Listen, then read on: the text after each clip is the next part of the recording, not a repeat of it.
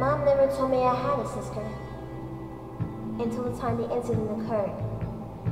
I found it in the basement.